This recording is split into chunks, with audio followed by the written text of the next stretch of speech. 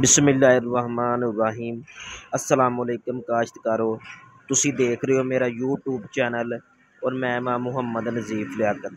ਅੱਜ ਇਨਸ਼ਾਅੱਲਾਹ ਤਾਲਾ ਗੱਲਾਂ ਮੰਡੀ ਗੋਜਰਾ ਵਿੱਚ ਜਿੰਨੀਆਂ ਵੀ ਜਿੰਸਾਂ ਆਈਆਂ ਵਾ, ਉਹਦੀ ਤਾਜ਼ਾ ਤਰੀਨ ਅਪਡੇਟ ਆਪਣੇ ਵੀਓ ਨਾਲ ਸ਼ੇਅਰ ਕਰਦੇ ਹਾਂ ਸਭ ਤੋਂ ਪਹਿਲਾਂ ਅਸੀਂ ਗੱਲ ਕਰਾਂਗੇ ਰਾਏ ਸਰੋਂ ਦੀ।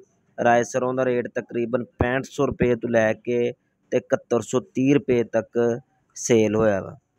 ਹੁਣ ਜਿਹੜੀ ਪੀਲੀ ਸਰ੍ਹੋਂ ਆ, ਪੀਲੀ ਸਰ੍ਹੋਂ ਤਕਰੀਬਨ ਬਹੱਤਰ ਸੌ ਰੁਪਏ ਤੋਂ ਲੈ ਕੇ ਅਤੇ ਪੰਝੱਤਰ ਸੌ ਰੁਪਏ ਤੱਕ ਸੇਲ ਹੋਈ ਹੈ। ਹੁਣ ਅਸੀਂ ਗੱਲ ਕਰਾਂਗੇ ਤਾਰੇ ਮੀਰੇ ਦੀ। ਤਾਰਾ ਮੀਰਾ ਤਕਰੀਬਨ ਪੈਂਹਠ ਸੌ ਰੁਪਏ ਤੱਕ ਸੇਲ ਹੋਇਆ ਵਾ। ਹੁਣ ਅਸੀਂ ਗੱਲ ਕਰਦੇ ਹਾਂ ਬਾਜਰੇ ਦੀ। ਬਾਜਰੇ ਦਾ ਰੇਟ ਤਕਰੀਬਨ ਸਤਾਈ ਸੌ ਰੁਪਏ ਤੋਂ ਲੈ ਕੇ 2750 ਰੁਪਏ ਤੱਕ ਸੇਲ ਹੋਇਆ ਵਾ। ਹੁਣ ਅਸੀਂ ਗੱਲ ਕਰਾਂਗੇ ਤਿਲੀ ਦੀ। ਤਿਲੀ ਤਕਰੀਬਨ 17000 ਰੁਪਏ ਤੱਕ ਫਰੋਖਤ ਹੋਈ ਹੈ।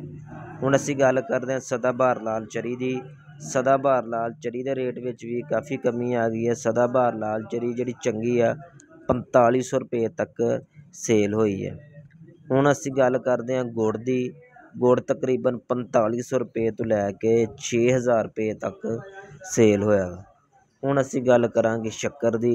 ਸ਼ੱਕਰ ਤਕਰੀਬਨ 7200 ਰੁਪਏ ਤੱਕ ਸੇਲ ਹੋਈ ਹੈ। ਹੁਣ ਅਸੀਂ ਅੱਜ ਆਉਂਦੇ ਹਾਂ ਆਪਣਾ ਮੱਕੀ ਦੀ ਤਰਫ।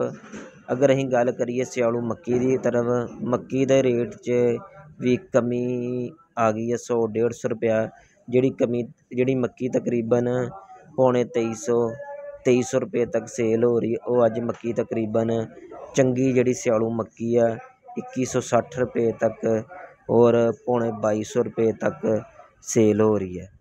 ਹੁਣ ਅਸੀਂ ਗੱਲ ਕਰਾਂਗੇ ਉਹਦਾ ਨਾਂ ਕੀ ਆ? ਹਾੜੂ ਮੱਕੀ ਦੀ।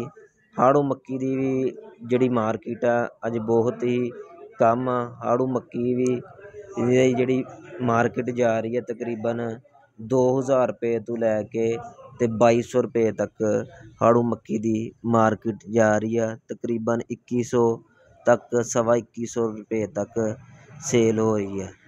ਅਤੇ ਅੱਜ ਇਨਸ਼ਾ ਇਨਸ਼ਾਅੱਲਾ ਤਾਲਾ ਅਸੀਂ ਆਪਣੇ ਰੇਟ ਅਪਡੇਟ ਕਰ ਦਿੱਤੇ ਨੇ। ਸ਼ੁਕਰੀਆ ਅੱਲਾ ਹਾਫਿਜ਼। ਅੱਲਾ ਤੁਹਾਡਾ ਸਾਰਿਆਂ ਦਾ ਹਾਮੀ ਨਾਸਿਰ ਹੋ